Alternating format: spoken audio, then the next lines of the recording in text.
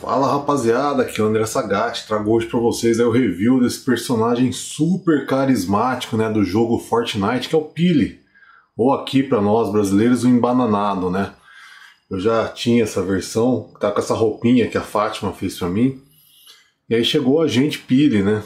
Foi de uma temporada que tinha os agentes secretos, de porra, pensa num personagem bacana, é, engraçado, né? Então por isso aí eu resolvi pegar esse cara aí para coleção e o review é dele. Bora!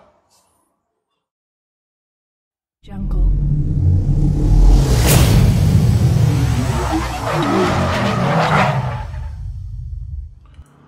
Negado, esse Pili é da marca Jazzwares, né? É uma marca não é tão nova, é antiga até no mercado, mas ela não, não tinha aquela tradição tão forte assim, né? Em figuras bem feitas, digamos assim. Então, eu acredito que essa série de Fortnite para eles foi a guinada, porque realmente as figuras são muito boas em questão de articulação, pintura, detalhes, não devem nada para uma Hasbro da vida, por exemplo, inclusive, né? A escala deles batem com os Marvel Legends. Foi um dos motivos de eu sair da McFarlane e resolver pegar os personagens aí da Jazz Wars. E tá aí. Então a caixinha, né, é uma figura é da série Legendary Hero, é Sirius, né? Tá aí. Epic Games, que é, é a detentora, né, do jogo Fortnite. Aqui vinha a figura, os acessórios, o corninho de Sagat atirou. Na parte de trás ali, um, uma fotinha, né, da gente Pire. do embananado, né? Mas ali é uma foto do game mesmo e outras figuras da linha, né? Eu quero pegar o Miauskis ainda, que é esse gatinho aqui, tudo bombado. Nos outros eu não tenho interesse, o Skull já tenho aqui na coleção, tá? Então a caixinha tá aí, ó, tem o selinho de autenticidade. Isso aqui eu peguei no eBay, tá? Milagrosamente não fui taxado. E eu vou mostrar para vocês aí os acessórios do Pili. Rapaziada, Pire a gente vem com três rostos. Esse que tá aqui nele, né? Carinha puto, puto da vida. Esse outro que eu pus no meu embananado antigo só para mostrar para vocês que dá para deixar o rosto do antigo no novo e vice-versa, quem tiver os dois. Então tem esse outro rostinho aqui, ó, encapetado, né? E tem o último rosto ali dando risada. Tá? Então são esses três rostos. Tem um outro Pili que eu gostaria que fosse lançado, que é o Pili Wolverine, né? Ele apareceu aí num, das, num dos trailers né, da, da temporada da Marvel. Ficou bem bacana, não acho que saia por conta de Marvel, essas porra toda, mas seria bacana, seria legal.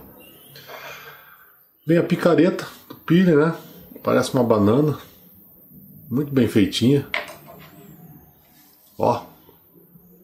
Espingarda também muito bem feita, pintura muito boa. E como eu disse, a escala meio que regula com os Marvel Legends, dependendo da figura Legends que você for usar, até fica boa. Essa metralhadora toda preta aqui na mão dele, né? Não tem pintura nenhuma. É, até tem, ó, no cabo dela é pintado ali. E a pistola do agente Pile, né? Que é a arminha mais emblemática aí, estilo Bond, James Bond, tá aí. Tem a mochila do Pili, que na verdade né, é o paraquedas aí do jogo. Olha que bacana. Mochilinha de agente secreto com um monte de banana saindo para fora. muito massa, muito legal, né? Bem bolado. E aqui a figura em si, ó, ele tem até uma pistolinha ali no, tornozelo, mas ela é fixa, tá? Ela não sai. É só a escultura dela ali mesmo, tá? E aí tá o agente, tá? É, mano, tá bem feito demais, a pintura tá excelente, não tem nada, nada, nada de errado. Olha a gravatinha borboleta, lá em cima o bolso, né? O rosto, a banana, né? A textura, a cor vai em degradê, começa amarelinha, vai ficando mais marrom na ponta aqui. Olha a parte descascada, a parte de dentro da banana, que legal. Ó, isso aqui sai, ele não é fixo, né? Mas não faz sentido, porque você vai tirar o braço dele vai ficar preto ainda com as mangas, tá? As costas. Ó, ó a pistola ali. E você vê, né, que eles... A Jazz Wars aproveitou muito das articulações do Marvel Legends, né? Copiaram meio que descaradamente. Ainda que o Pile ele tem um corpo diferente que é uma banana, mas se você pegar as figuras regulares, no caso do Skull que eu tenho aqui, você vai ver que é muito, muito, muito parecido né, com as articulações de Marvel Legends. Né? E vamos lá então, já que estou falando de articulação, vamos embora. Obviamente ele não vira o pescoço porque ele é uma peça só, né? Então não tem como fazer um negócio desse. Ó, ele vira a cintura é separada do Asa Banana, então ele tem o jogo aqui embaixo, ele vira a cintura.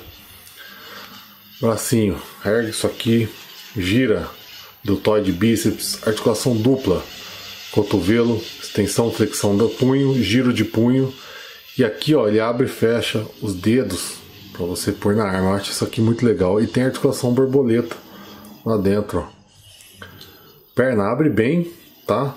Não abre até, até abriria mais, mas não abre tanto por conta aí do smoking dele. Tem o giro aqui em cima, na virilha. Mano, ele vai bem pra frente, mas é o mesmo caso, ele acaba pegando aqui no, no smoke para trás também. Articulação dupla no joelho, ó como vai bem isso aqui. Tem o giro aqui embaixo na canela. Extensão, flexão do pé, pontinha do pé. Ele não tem o joguinho lateral aqui do pé, mas é uma figura que é fácil posear, para em pé com facilidade, né? O pé dele é, é chatão, então não tem muito, muito problema. E, e é isso aí, eu vou pegar outras figuras, vou colocar lado a lado aí para vocês terem uma ideia, né? De tamanho de uma para outra. Já volto aí para vocês. Tá aí, tá? Então o Pile do lado ali do Raio Negro e do lado de uma figura da McFarlane, né? Esse aqui Hasbro, McFarlane e Jazzwares. Esse cara eu vou manter na coleção, obviamente. Eu gosto pra caralho dessa figura. Os dois Pile, né? Tem a mesma altura. E aqui o Hasbro. Né, você vê que as alturas regulam. O Pile não é muito parâmetro porque é uma banana, então ele é mais alto ali. Mas os personagens regulares dessa linha regula perfeitamente uns rasgos da vida. E o lobo ali, né? O Dare do, da McFarlane ele é um pouco mais alto, mas até que regula bem por ser um lobisomem e tal. Fica bacana aí com o resto da escala. Tá? Pra vocês terem uma ideia, o Pile tem 17 centímetros e meio. O lobo tem 18.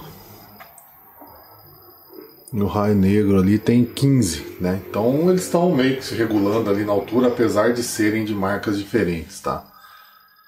E é isso, rapaziada. Tá aí um review, né? Muita gente pediu. Quando eu recebi esse cara, eu postei a foto aí na, nas minhas redes sociais. O pessoal pediu, né? Review. Eu não ia nem fazer review. Porque essa linha não é o foco do canal, vai vir muito pouca coisa para cá. Mas aí o pessoal ficou curioso tal. E para catalogar também aqui no canal, resolvi fazer. E é isso. Quem curtiu, puder deixar o like, inscrição. Porra, fortalece muito o canal. Quem não curtiu, deita na cama, puxa edredom, fia o dedo no cu e chora. Fico por aqui, fiquem com Deus até o próximo review.